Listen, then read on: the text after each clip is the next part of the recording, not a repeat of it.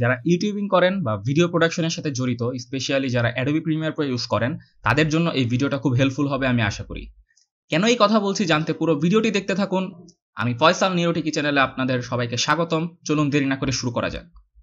আমাদের প্রায় অনেকেরই ধারণা রেন্ডারিং এর বেলায় higher core is equal to better performance and faster encoding Ryzen আমাদেরকে ইন্টেলের চেয়ে লো প্রাইসে বেশি করে অফার করছে, তাই সবাই কিন্তু রাইজেনই প্রিফার করছে। কিন্তু অ্যাডোবি হার্ডওয়্যার অ্যাক্সেলারেশনের ব্যাপারটা নিয়ে তেমন কাউকেই ভাবতে দেখছে না।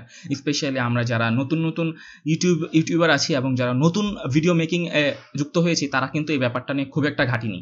সো যারা এখনও এই ব্যাপারটা জানি না, তাদের জন্য আজকের এই ভিডিওটা খুবই হেল্পফুল হবে অ্যান্ড এই ভিডিওটা থেকে আমরা জানতে পারব যে কীভাবে সিক্স জেনারেশনের পরবর্তী বা সিক্স জেনারেশন কোনো প্রসেসর থাকলে আমরা আমাদের ওয়ার্ক টাইমটাকে অনেক বেশি এফিসিয়েন্ট করতে পারব এবং আমাদের টাইমটাকে আমরা সেভ করতে পারব। যদিও অ্যাডোবি এই ফিচারটা দু হাজার আঠারো সালেই অ্যাড করেছে, কিন্তু আমি দু হাজার উনিশে এসে ভিডিওটা তৈরি করছি ইটস টু লেট যেহেতু বাংলায় আমি এই ব্যাপারে কোনো ভিডিও পাইনি, তাই আমি ভিডিওটা তৈরি করছি। শুনে অবাক হবেন যে হার্ডওয়্যার অ্যাক্সেলারেশন আপনার টাইম অলমোস্ট থার্টি থেকে ফিফটি পার্সেন্ট সেভ করতে পারে। কীভাবে? তা জানতে ভিডিওর বাকি অংশটুকু দেখতে থাকুন। প্রথমে আমরা বেঞ্চমার্কের জন্য অলমোস্ট সিমিলার প্রাইসিং এরই দুটি সেট নিয়েছি, একটি এএমডি এবং একটি ইন্টেলের দুটি বছরখানেক আগের বিল্ড আমরা টেস্ট পারপোজের বিল্ডগুলো ইউজ করেছি। একটির config Intel core I five six four zero zero with twelve GB of RAM and আরেকটি Ryzen five fifteen hundred X with sixteen GB of RAM দুটিতেই আমরা ten fifty Ti GP use করেছি, দুটি সিস্টেমেই আমরা same project file same settings export করে দেখেছি। Ten টিপি সিকোয়েন্সটির লেন্থ ছিল ফর্টি ওয়ান সেকেন্ডস ইন্টেল বা এএমডি দুটি প্রসেসরই কাছাকাছি পারফর্ম করেছে।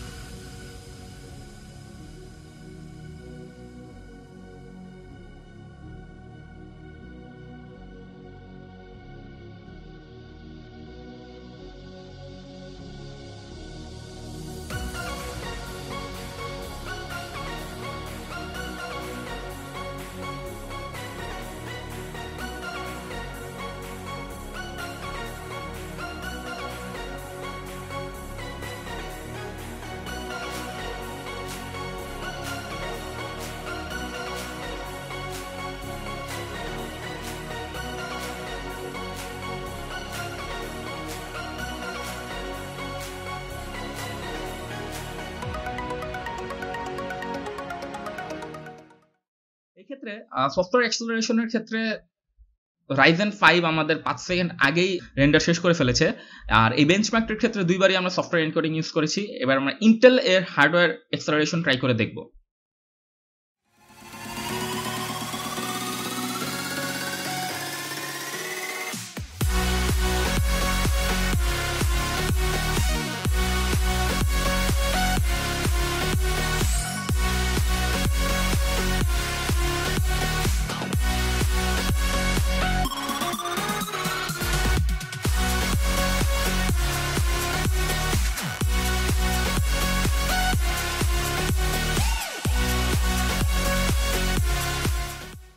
অ্যান্ড গেজ ওয়ার্ক রেজাল্ট দেখার পর বিশ্বাস করতে কষ্ট হচ্ছিল এবং অবাক হচ্ছিলাম যে মাত্র থার্টি সেকেন্ডস এর রেন্ডার কমপ্লিট যেখানে আমাদের চারটা কোর দিয়ে ইন্টেল কোর আই ফাইভ এবং রাইজেন অলমোস্ট ওয়ান মিনিটের কাছাকাছি টাইম লাগাচ্ছিল।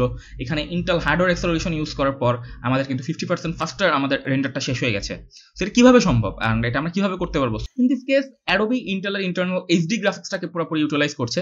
এই ক্ষেত্রে by default software acceleration on থাকলেও হার্ডওয়্যার এক্সেলারেশন ম্যানুয়ালি অন করে নিতে হবে।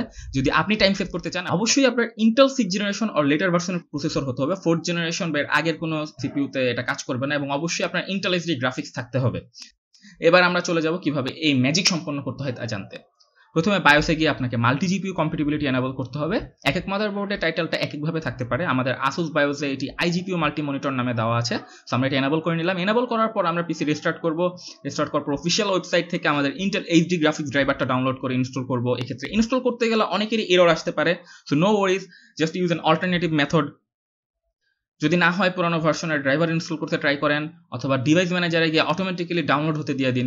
আপনার যদি তাও সমস্যাটি সলভ না হয় ইরোর মেসেজটা লিখে ইউটিউবে সার্চ করুন, তবুও যদি ফিক্স না পান, তাহলে আমাদের কমেন্ট বক্সে জানাতে ভুলবেন না, আমরা আপনার জন্য ফিক্স নিয়ে আসতে ট্রাই করব। অতঃপর অ্যাডোবি মিডিয়া এনকোডার এনকোডিং সেটিংসে গিয়ে হার্ডওয়্যার এক্সেলারেশন সিলেক্ট করে দিন, ব্যাস, আপনার রেন্ডারিং টাইম থার্টি থেকে ফিফটি পার্সেন্ট রিডিউস হয়ে যাবে। সো আই হোপ এই ভিডিওটির মাধ্যমে আপনারা আপনাদের প্রশ্নের উত্তর পেয়ে গেছেন অ্যান্ড যারা অ্যাডোবি ইউজ করেন, তাদের জন্য Intel a huge time saver আর যারা ব্লেন্ডার কিংবা থ্রি রেন্ডারিং সফটওয়্যার ইউজ করবেন, তাদের জন্য এএমডি এর হায়ার কোর সম্বলিত প্রসেসরই আমি প্রেফার করব।